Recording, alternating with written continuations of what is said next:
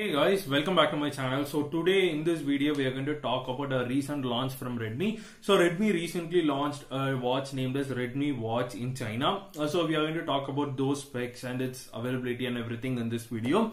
So the first thing is it comes with a 1.4 inches square display. It comes with LCD display. So uh, for those people who doesn't know what is this LCD display and LED display, what is the difference? So I'll just explain it.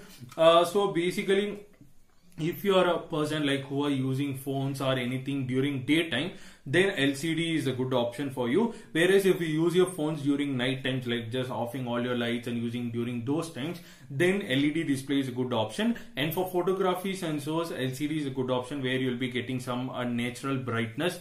Whereas here you'll be getting some adaptive brightness. That's it. And it purely depends on company's point of view. The manufacture cost and everything varies. And it comes with different forms like OLED, AMOLED, Super AMOLED, IPS LCD display, and so on. So, so that's it. So this is about this LCD display. So here it comes with uh, 1.4 inches as I mentioned earlier with 320 into 320 pixel resolution, 323 ppm parts per million and so and so. So here the company is giving you more than 100 uh, plus watch faces where you can choose any watch faces you want. You are going to get 2D tempered glass. So in case if you just put your watch down, you will not be getting any cracks and so everything will be good so this is the first part about the watch and the next thing is we'll be talking about its in-depth specs. So in-depth specs here you're going to get uh, 24 bar 7 uh, heart rate monitoring uh, sensors. So here uh, this heart rating monitors will be carried out uh, like you'll be getting the data for last 30 days as well. So suppose if you have any emergency and so then you can just look back to your uh, past 30 days like what was your heartbeat and so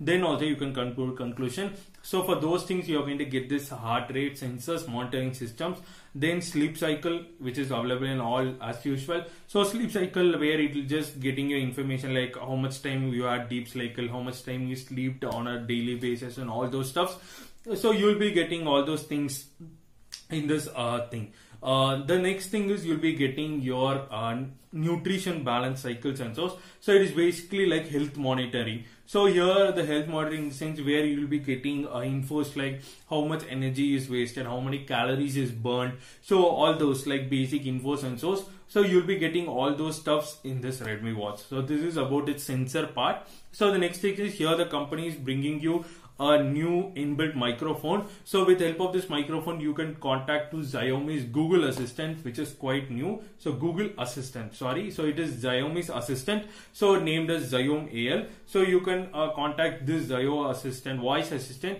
and you can clear your doubts. Like if you have anything to uh, do or anything, you can give in case of any emergency and so you can just give your voice comments comments and this Xiaomi AI will do the rest the rest of the part so this is how this uh, new thing has been brought up in this watch which is quite unique. Because in Redmi band uh, which was launched in India on September uh, those specs this uh, voice assistant was not available. But here in this which is quite unique and you're getting uh, Bluetooth 5.0 you can connect to Android and iOS for Android you should have minimum 5.0 plus versions whereas for iOS you should be minimum 10 plus. So that's it. So the next thing is you are having here NFC payments so that is near field communication payments so which is so so common in China because China is one step ahead of India in this payments point of view. So because like uh, there in subways malls and everywhere you can just pay via NFCs here we still using those cards but the machines which you're using is that same NFC machines, that same card swiping machines where we use in many top mall shops and so so the same thing is being used there but what is the thing is you don't have to take carry your debit cards or credit cards for that. What you can do is you can just use your watches for paying it.